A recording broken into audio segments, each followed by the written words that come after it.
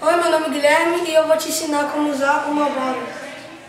Primeiro você tem que deixar na área de, de é, descansar. Depois você liga, vira e essa é a área de trabalho.